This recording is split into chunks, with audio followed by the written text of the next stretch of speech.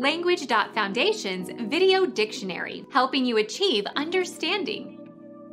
Paper suitable for drawing and making cutouts.